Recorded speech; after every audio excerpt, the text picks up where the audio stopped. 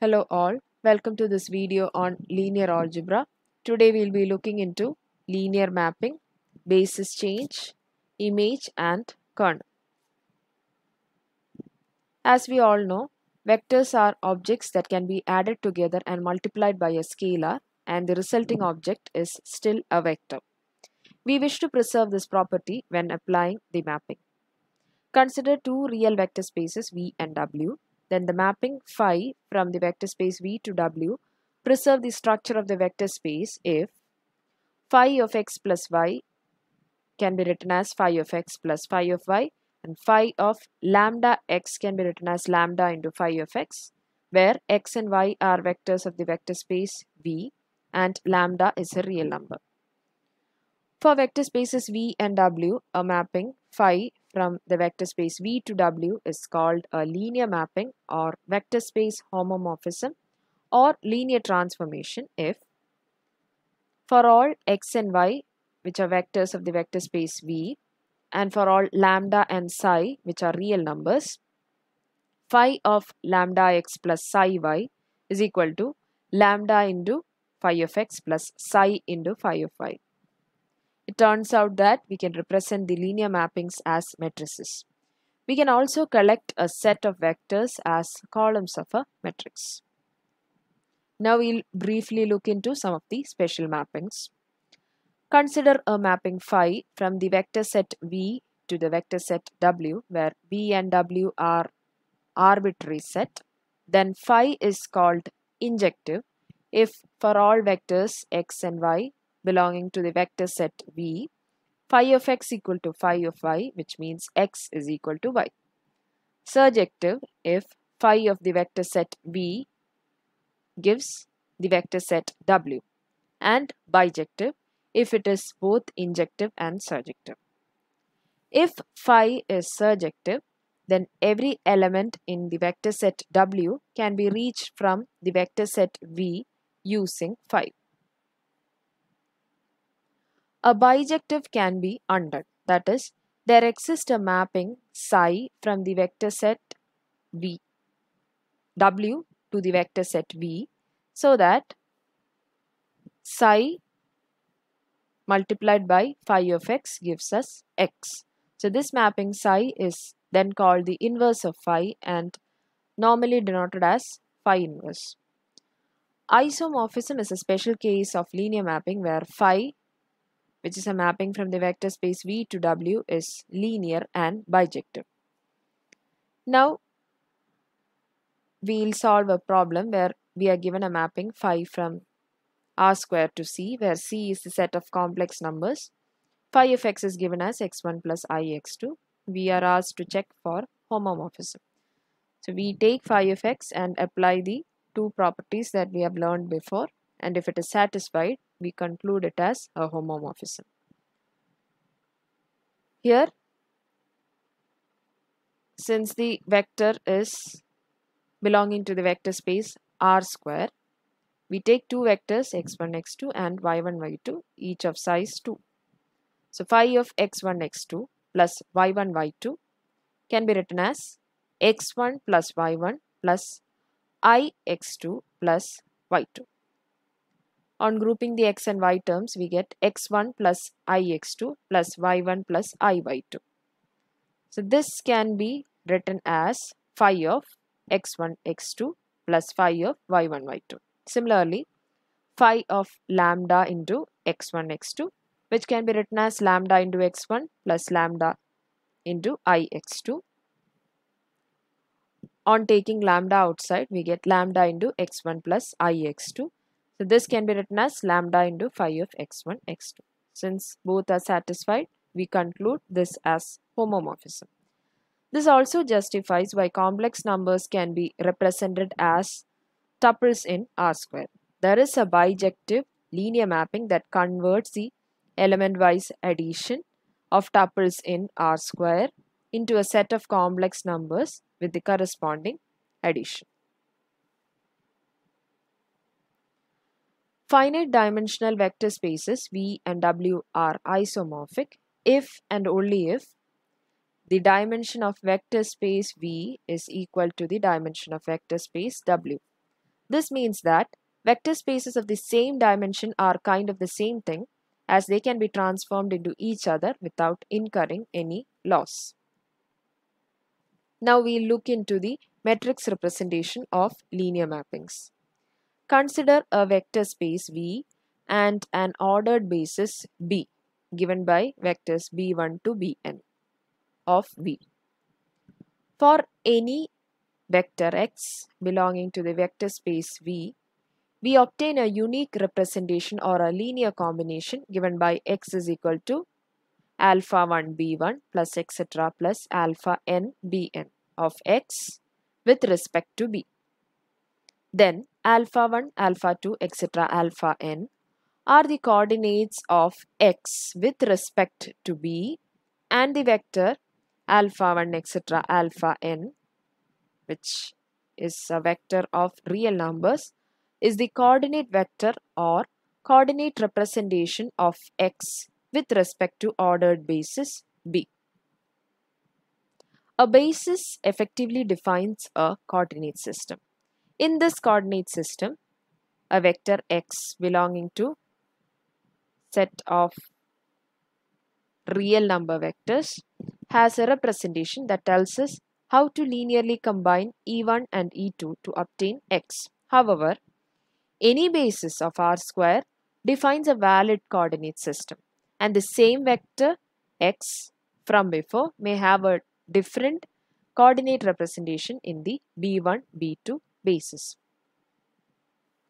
Now we'll see a problem where we are given a geometric vector x element of R square with coordinates 2, 3 with respect to the standard basis E1, E2 of R square. Then this vector can be written as x is equal to 2e1 plus 3e2.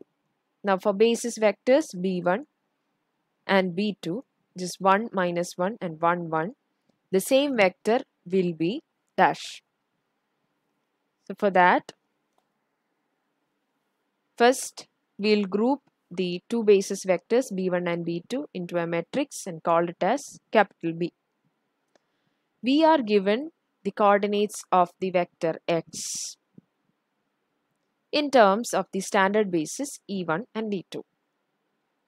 Now we need to convert the same vector with respect to basis b1 and b2 and find its new coordinates. Note that the coordinates of b1 and b2 given here are with respect to the standard basis e1 and e2. So in order to find out the actual coordinates of b1 and b2, I need to perform an inverse operation on the same. That is, we need to perform an inverse operation on the matrix B.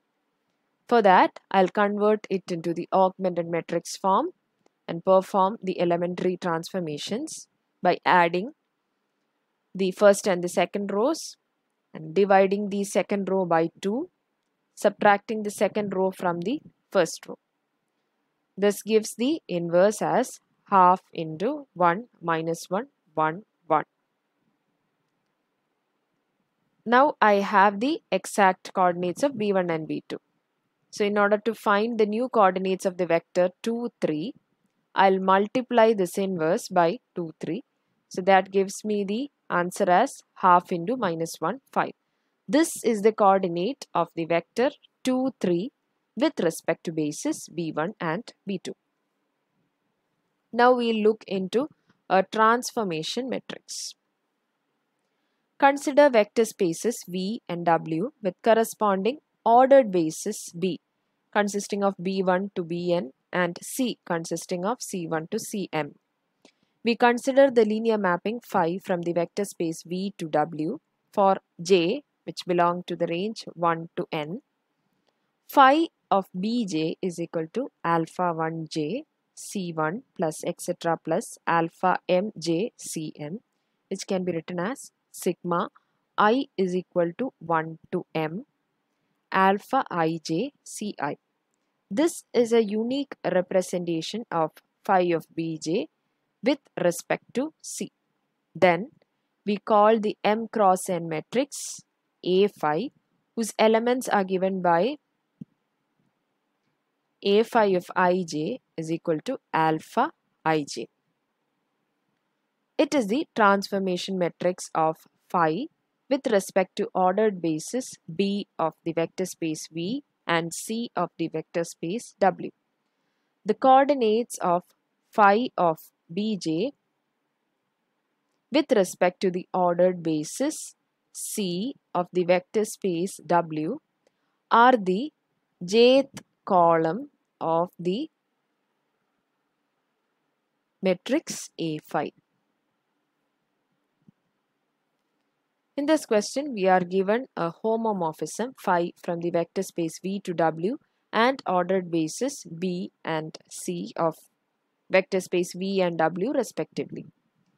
Phi of B1, phi of B2 and phi of B3 are given in terms of the basis vector C.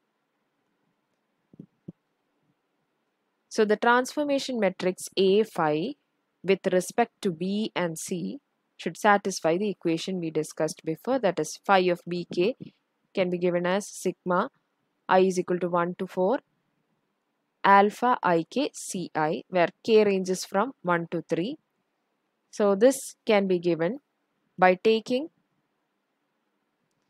the values of alpha 1 alpha 2 and alpha 3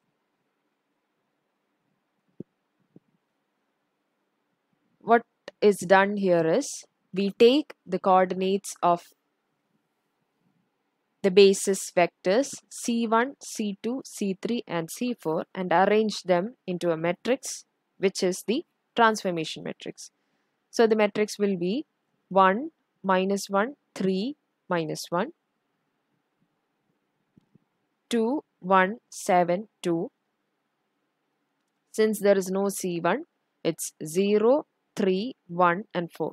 So each of these will be the columns of this matrix where alpha j that is each column they are the coordinate vectors of the mapping phi of bj with respect to c.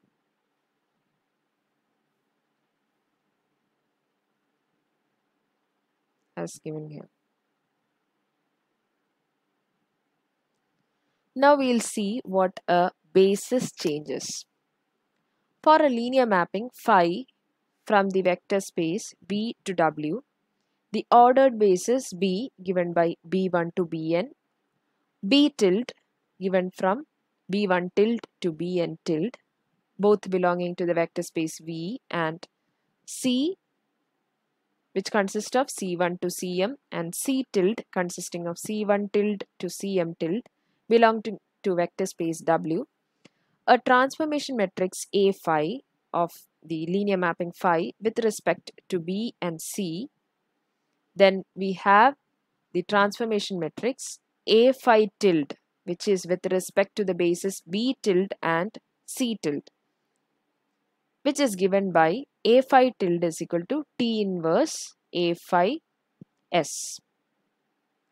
Here B and C were the initial basis B tilde and C tilde are the changed bases.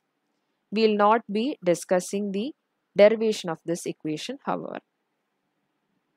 Here the matrix S of size n cross n is the transformation matrix of the vector space V that is mapping the coordinates with respect to B tilde onto the coordinates with respect to B and the matrix T of size m cross m is the transformation matrix of vector space W that maps the coordinates with respect to C tilde onto coordinates with respect to C. Now we'll see a problem where we are given a transformation matrix A with respect to canonical basis in R square and we are given a new basis defined by B we are asked to find out the new transformation matrix. Here the transformation matrix A is given with respect to basis B1, B2 whose values are unknown. However, we are given the values of the new basis 1, 1 and 1 minus 1. So in order to find the new transformation matrix, I will multiply the existing transformation matrix with the new basis. Then the product will be in terms of the basis B1 and B2 since A is based on B1 and B2. Now, here also as in one of the previous problems, the coordinates of B1 and B2 here that is the new B1 and B2 is given in terms of the original B1 and B2. In order to find the actual value of the new basis that is B1 dash and B2 dash, I'll perform an inverse operation on this set of vectors. That is why A tilde can be found using the formula B inverse AB. First, I'll find the inverse of B by performing the following elementary transformations. Subtracting R1 from R2, adding twice of R1 to R2, dividing R1 by 2 and R2 by minus 2. Then this will be the value of B inverse. Then I multiply it with A and B already available from the question. And my final matrix will be 3001 which is a diagonal transformation matrix.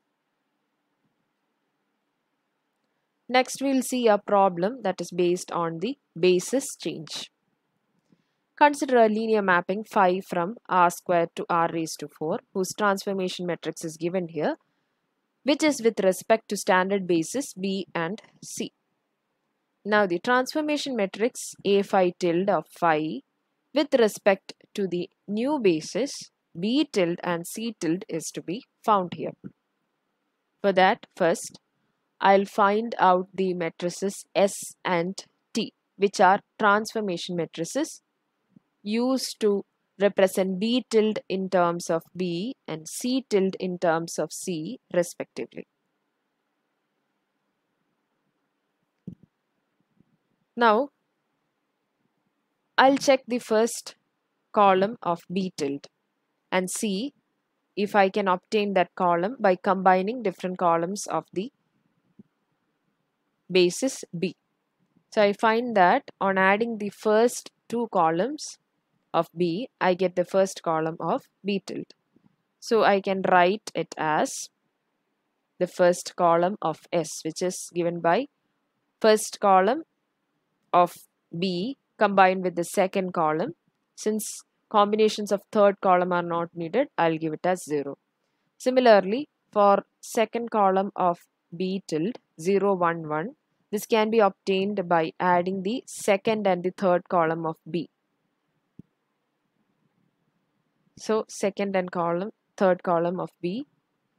Since first column is not taken, it's given as 0. Similarly, for the third column, it will be 1, 0, 1. You can see that the values in the matrix S and the vectors of B tilde are the same in this case. Similarly, for C tilde also, we obtain the matrix T using the same method. Now we have done both the calculations based on the formula sigma i is equal to 1 to 3 lambda i bi which gives us the bj tilde where j varies from 1 to 3. The formula given for a phi tilde is t inverse a phi s. I have the value of t. So next I'll find out the value of t inverse by performing the elementary operations like subtracting the first row from the second row and adding the first and second rows then adding the third and the second row negating the second row adding the third row and minus 2 times the first row adding twice of the second row with the third row adding the first and the fourth rows subtracting the fourth row from the second row adding third and fourth rows and multiplying the fourth row by 2 then I also negate the first row then I divide all the rows by 2 and finally I reach this matrix which is the value of T inverse. Then I substitute for A phi which is already given in the question and S as we have derived before and then I get the final answer as this matrix. Now we'll see what image and kernel is. Now image and kernel of a linear mapping are vector subspaces with certain important properties that we'll be seeing now. For a linear mapping phi from the vector space V to W, we define the kernel or the null space as kernel of phi given by phi inverse of 0w which is the neutral element that is for a vector v in the vector space v on applying the linear mapping phi of v we get a neutral element which is present in the vector space w which is shown here diagrammatically.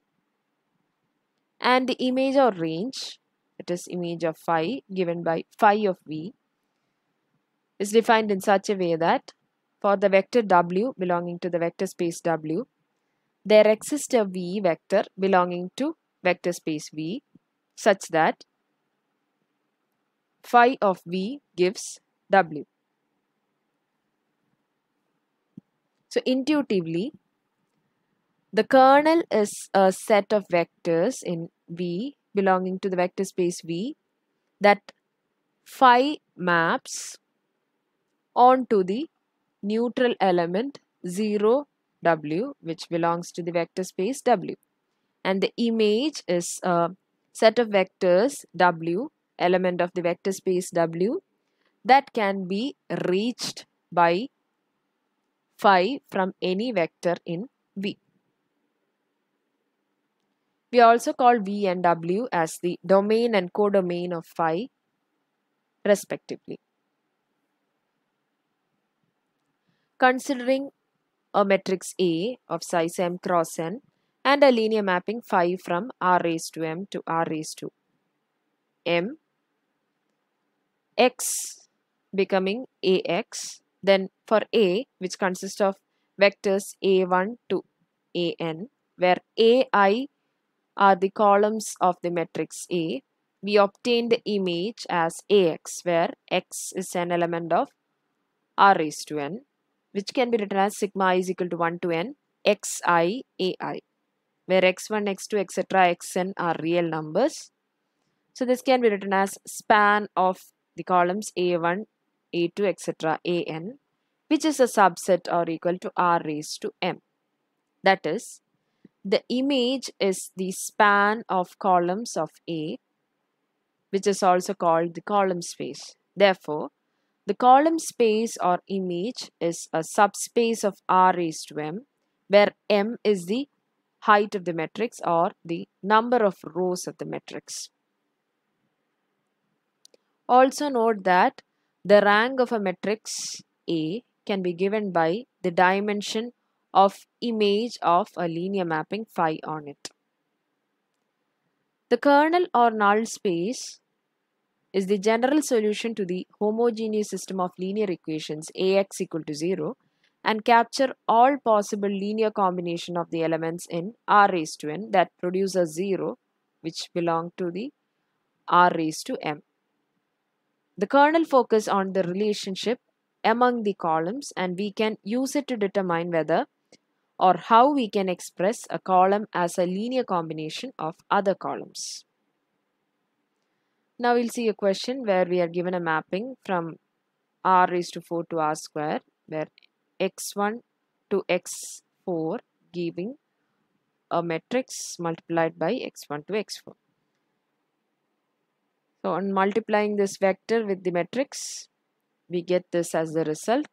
Now we'll take out the x terms and group its coefficients in both the rows as vectors. So x1, 1, 1, x2 into 2, 0 since there is no x2 here plus x3 into minus 1 since there is no x3 terms here it will be 0 plus x4 there is no x4 in the first row so 0 and 1 This is linear. To find out the image of phi, I will take the span of these columns. Now, to find the kernel of phi, we need to solve for ax equal to 0. For that, I take the matrix A and perform elementary transformation to convert it into row echelon form by subtracting the first row from the second row, adding the first and second rows and multiplying the second row by minus 1 by 2. After the transformations, I find that the first two columns are the pivot columns and the other two are non-pivot columns. So, here A3 can be written as minus 1 by 2 A2 and A4 can be written as A1 minus 1 by 2 A2. Now, in order to find out